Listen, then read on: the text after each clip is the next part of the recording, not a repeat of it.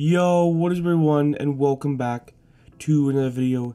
In this video, I want to go over how to create this really cool echo mask effect in Final Cut Pro 10. As you can see right here, this is what this really cool echo mask effect looks like. I'm going to go ahead and go over how to create this effect. Don't worry, there's no like keyframing of mask or anything like that. It's just adding a little bit of a shape mask. So it's not like a super difficult effect. So I'm going to go over here to the example right here. And what I'm going to do is I'm going to go ahead and I'm going to create another copy or create a copy right here. And then what I'm going to do is I'm to go ahead and change the blending mode to screen right here. And then what I'm to do is I'm to go ahead and move the clip over here to about the bottom right um, right there. So you can see right here, this clip is on the bottom right right here, and you can go ahead and change the blending mode. You could change it to lighten or add, but I just encourage you to probably change the blending mode to screen because I think that looks the best. But of course, you can of course mess around with it until you get the look that you want. So go ahead and just move the clip um, wherever you want right there. And remember, you're gonna put them in all four corners. So what I'm gonna do next is after I hit done right here, I'm gonna head over to the effects panel right here and I'm going to go over to mask right here and I'm going to take a shape mask and I'm just going to apply the shape mask onto the top clip right here. Now we can go ahead and bring it out to like 50% right here and we're going to go ahead and just adjust the shape mask right here. Now this is all up to you how you want to do this. I would encourage you to probably at least have it go off the edge right here and then you can of course just adjust this here and there. It's not going to be perfect. It's going to be a, little bit of a weird um, edge right there but that's about the best you're going to get right there. So that's what it looks like right here. Kind of creates this really cool kind of holographic image. So I'm going to do is I'm going to go ahead and hold down option and I'm going to create another copy right here. And all I'm going to do is I'm going to take the position right here, or actually I'll just move the y-axis right here. So I'm going to go ahead and just take the y-axis right here, and I'm just going to move the clip up here. You can of course adjust it to your liking, but there we go. Now you can of course make this one on the bottom, this on the top. It doesn't really quite matter that much. So I'm going to go ahead and take this clip right here, create a copy right here and then we'll take this one you move the x-axis and then move it over right there. And that, of course you can adjust more of the shape mask right here. I'm to go ahead and take this bottom clip right here take this bottom clip right here and move it all the way up to the top. That way you just create some sort of consistency right there and that looks pretty good right there.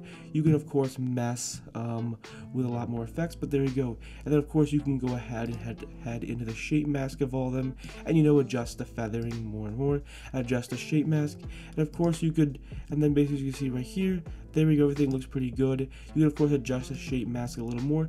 I would encourage you to have a clip where the person is pretty much in the in like staying in one position. So you don't have to worry about keyframing a mask. Because keyframing a mask doesn't really look that good. It kind of jitters all around. It just it just doesn't look that professional. But that of course is your personal preference. I'm just not a big fan of keyframing masks. They just don't in Final Cut Pro 10, if you've never done it before, keyframing a mask doesn't really work that well. That's just my personal opinion. I just don't think I, I just don't like the look uh, that Final Cut, uh, Final Cut has when you keyframe a mask. But again, that's my personal um, preference. Next what we're going to do is we're to take all four of these clips right here, basically all four of these corners right here. Just to go ahead and click Option G, and basically we're just going to create a compound clip. And now that looks pretty cool. So what we're going to do next is we're going to take the original clip right here. I'm going to create another copy, take the original clip, and put it on top of the compound clip. So the original clip, the compound clip, and then the original clip right there. And I'll show you why in a second why you're going to want to do this. So what you're going to do is now you're going to go to the top clip right here and you're going to head down to mask again and you're going to go ahead and apply a shape mask right here and there we go. Now it's starting to look like the original clip right here. So go ahead and just adjust the shape mask um, right here. And then I encourage you to probably increase the feathering a lot because you really want a, a, a nice feather. But that you know uh, like like everything it's all a personal preference right there. And then there you go. Now you've created this really cool um, echo mask effect. Now you may ask yourself, well, he's kind of covering this part of, of himself right there. Now what you can do is go to the top clip right here, and you can actually just adjust the position over here. It kind of creates this really, really cool kind of like holographic effect. So go ahead and type in negative 170 right there, and there you go. You have this really, really cool um, holographic effect in Final Cut Pro. That's kind of jumping around a little bit. That that's perfectly fine.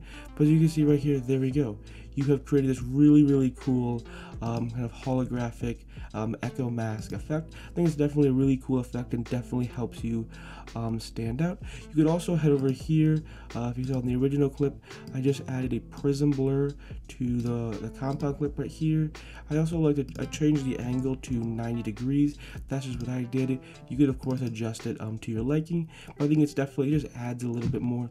You could of course add a whole bunch of different effects to help make this thing look a lot cooler, but there you go. That's how you create this really, really cool um, echo mask effect. So I'm gonna head over here to the example right here, or the final edit right here, and then this is what it looks like right here.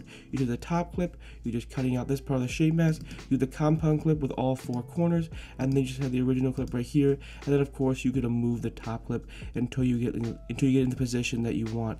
Anyways, hopefully you enjoyed this video, hopefully you found it helpful and informative. If new to this channel, I upload Final Cut Pro 10 tutorials every day at 10 a.m. Eastern Standard Time. So if you enjoy these types of videos, consider hitting that subscribe button.